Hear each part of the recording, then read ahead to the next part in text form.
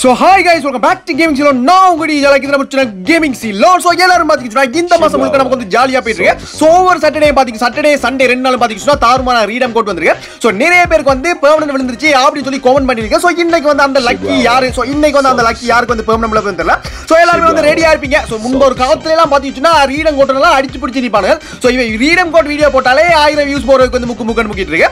So நீங்க அண்ணாடத்தில் வந்து subscribe பண்ணா பார்த்துறீங்கடா ஒருக்கா வந்து பார்த்து கித்து சப்போர்ட் பண்ணி விட்டுருங்க டே அது விபெச் എനിക്ക് ഐഡിയ വലിയ ஸோ பாதிச்சுன்னா அவரேஜா வந்து ரெண்டாயிரம் வியூஸ் போகணும் ஸோ அப்பதான் வந்து அண்ணா வந்து விபெச் அப்ளை பண்ணலாம் ஸோ பாதிக்கிறது எல்லாரும் பார்க்குறாங்கல்ல அண்ணா சேனலை வந்து ஒருக்கா சப்ஸ்கிரைப் பண்ணி அப்படியே வந்து இந்த பெல் பட்டனை போட்டு விட்டுருக்க டிங் டாங்கன்னு ஸோ என்ன பார்த்துச்சுன்னா தாறுமாற ஒரு கன் பாக்ஸ் கிடைக்க போகுது. ஸோ யாருக்கு வந்து அந்த பாக்ஸ் விழப்போகுது பேமெண்ட் விழப்போகுது தெரியல.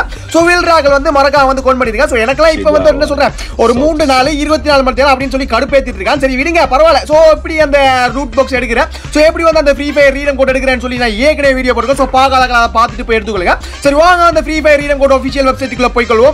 பாத்தீங்கன்னா ப்ரோ அந்த ஒஃபிஷியல் வெப்சைட்ல வந்துருங்க ஸோ பாத்தீங்கன்னு சொன்னா நீங்க என்னத்துல கனெக்ட் பண்ணீங்களோ அதை வந்து கனெக்ட் பண்ணிருங்க. ஸோ உள்ள வந்து உங்களோட ஐடி இருக்கும் அப்புறம் கீழே பாத்தீங்கன்னு சொன்னா சிங்கப்பூர் செவன் இருக்கு. ஸோ பார் கோட் என்ன பாத்தீங்கன்னு சொன்னா எம் அப்புறமா பாத்தீங்கன்னா சி அப்புறம் பாத்தீங்கன்னு சொன்னா பி அடுத்து பார்த்தீங்கன்னா டபிள்யூ ஸோ எல்லாமே வந்து கேபிட்டல் அடிக்கும் ஸோ மறந்துறாங்க. ஸோ அதுக்கப்புறம் பார்த்தீங்கன்னா த்ரீ டி அப்பா த்ரீ டி சினிமாவா? சரி பரவாயில்ல. த்ரீ டி அங்கே பாத்தீங்கன்னா ஒன்று அப்புறமா நாலு. ஸோ கடைசி மூன்று எழுத்து என்ன அப்படின்னு சொல்லி பாத்தீங்கன்னா அப்புறம் உங்களுக்கு வந்து நம்பர் தான் அப்புறமா வந்திருக்கு. ஸோ மூன்று ரெண்டு அப்புறமா பாத்தீங்கன்னா அஞ்சு கடைசியா பாத்தீங்கன்னா எச்சு ஸோ இதுதான் வந்து. ஸோ இந்த பன்னெண்டு எழுத்து அடிச்சுட்டு நீங்க வந்து ஓகே கங்க்ராச்சுலே அப்படின்னு கொடுத்துட்டீங்கன்னா கங்க்ராஜுலே அப்படின்னு சொல்லி வந்துடும். ஸோ அப்புறமா பாத்தீங்கன்னா ப்ரோ ப்ரோ எலெக்ஷன் வந்த ப்ரோ பாத்தீங்கன்னா நீங்க மறுபடியும் வந்து கேமுக்குள்ள வந்து கொள்ளுங்க. ஸோ கேமுக்குள்ள வந்து கூட பாத்தீங்கன்னா மேல வந்து உங்களுக்கு வந்து ஒரு கடிதத்தில் வந்து இந்த என்ன ஸோ ரெட் கலர் லைட் பத்திட்டு இருக்கு. ஸோ பாத்தீங்கன்னா அதில் வந்து free fire MCB season four அதுக்கான ரிவார்ட்ஸ் வந்து உங்களுக்கு வந்து கிடைச்சிருக்கு. ஸோ ரீடம் கோட் எடுத்துட்டு வந்து இந்த பாக்ஸ் நீங்க வந்து ஓப்பன் பண்ணி விட்டுருங்க. சரி பாப்பா இன்றைக்காவது டேய் ஒரு நாலு நாளா நான் வந்து ரூட இந்த சொல்றேன் இந்த ரீடம் கோட் எடுத்துட்டேன் பட் எனக்கு வந்து விளையல.